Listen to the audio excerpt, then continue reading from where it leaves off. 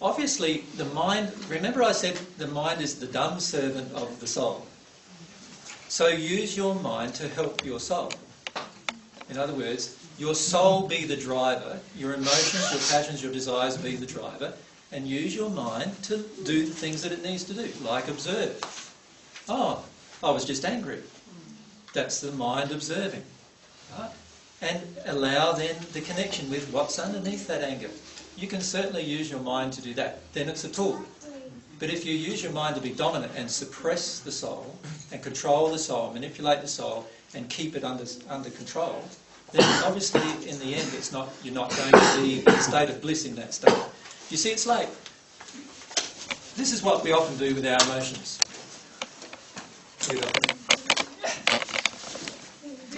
Those emotions in the first place and when would they have developed? And, I mean, are you saying, there's not one soul, I'm sure, on earth who wouldn't go through every emotion sometime in their lifetime, so where's all that come from?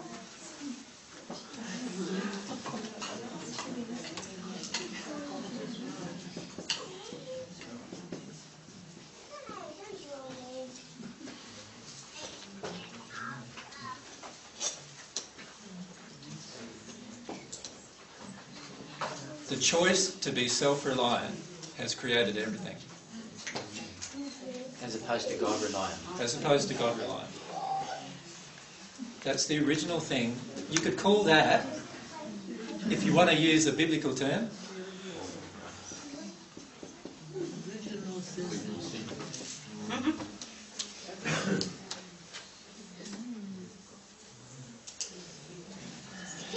Okay. The reason why is because when you become self-reliant, you now need to decide in yourself what is harmonious with love and disharmonious with love and so forth. And of course, you're not going to be connected to God.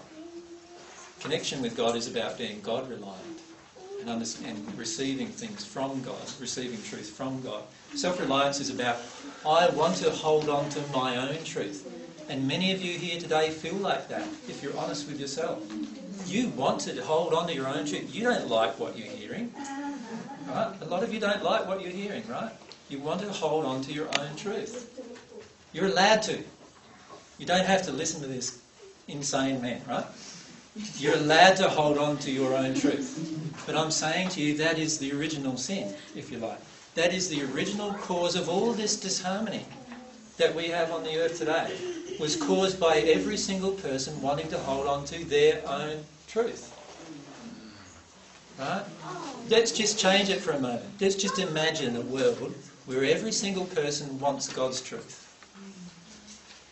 How different's that world going to be? It's going to be totally different, isn't it?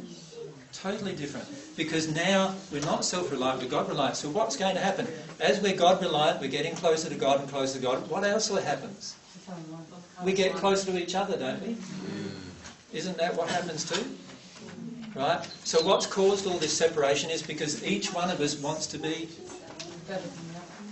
self-reliant. I want to determine my truth, thank you. I want to determine what happens in my life, thank you. I want to control what's going on in my world. So as all these species were developed on, the earth, um, it was like, um, it's again, I mean, again, survival, it was a, it was survival instincts.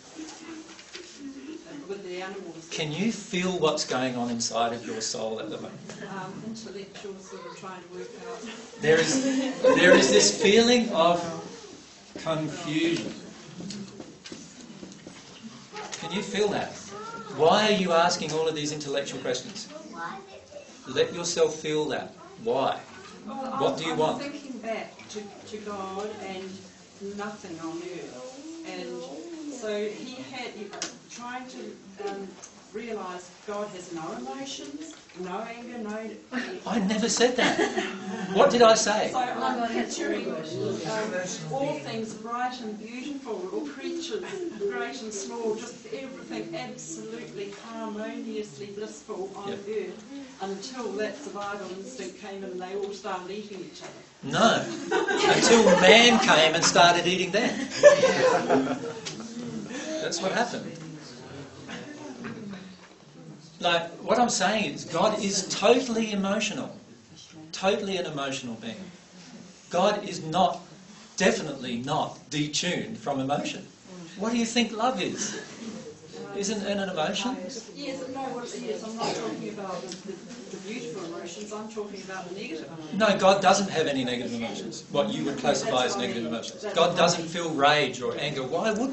Why would she? Everything she creates is perfect. Would you be angry if everything was perfect? That's why I was picturing that, you asked me a question, and I was actually picturing to the, the beginning, the creation. Everything And was perfect. everything was bright and beautiful, creatures. And this is what created everything different. Perfect. And there was no negativity until the survival instinct. No, it's not the survival instinct. It was this. It was this. really, isn't it? Well, that's what I mean. Um, self-reliance is almost like um, survival. No, they're not the same thing. Right. Self, what's survival instinct?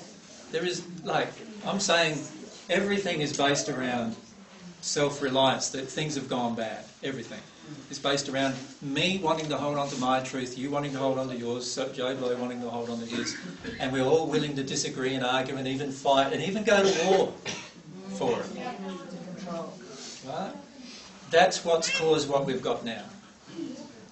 Right? If we all became God reliant, what would happen? I would have to give up my truth. You would have to give up your truth. And we would all eventually have God's truth. Does that mean we're all robots still? No, because we're all got different personalities, unique, and in amongst this beautiful, large universe God created, you have the ability to do anything you want, harmonious with love. And in fact, once you've got rid of that as the biggest emotion, you will want to do everything harmonious with love. And you'll enjoy that. I work in a secondary school and there are many students who are coming with the attitude of what I want is important and I know my own mind. And I've seen kids come up and make demands because that's what they know to be right. So this is all coming from that self-reliance stuff. Yeah, a- and be careful. A person who is at one with God knows exactly what they want. But what they want is harmonious with love. Mm. The problem with many of these students that are coming up to you is they want things, but it's not harmonious with love. It's because of all this emotional damage added to it that they come up and they say, I want to do this and blow the rest or whatever. Right? But the truth is that if it's harmonious with love, if they're allowed, they're allowed to want what they want, you're allowed to want what you want. You are. But they're being taught to be assertive and stand up for their own rights. So that's where To see a person at one with God, and again I'm going to refer back to that all the time, is you won't feel like you need to stand up for your rights. Thank you. See you. We're going simply because um, a friend's just out of hospital. No worries. Thank you. Bye bye. Anybody can leave, by the way. It's getting pretty late actually. What's your opinion on 2012 and the golden age? And Uh, can I answer that tomorrow, maybe? well, it's quarter to six, but it's late. Someone's got I just imagine that with self-reliance, it would be really interesting. Many people have come to be self-reliant because it's become a, a way of thinking uh, that's normal, and so they're not in touch with their feelings. Then if you come to actually accept that has been a lot of cause for lots of terrible things happening and ways of being, then you would have to go through a, a lot of very hard emotions around guilt and shame, maybe, I don't know, but just different emotions to say, wow, th- this has happened through self-reliance. Um, I haven't been connected to God, so therefore um, abandonment of that. Yep. Um, and uh, grief and many, many, so it would be very hard to let go of that too. This is the hardest emotion to let go of in the Yeah. end. The, the reason why it was because it was the very first multi-generational emotion.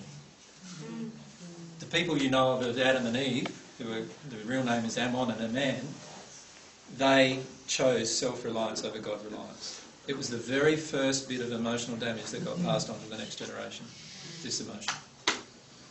And so it's very deep within your core.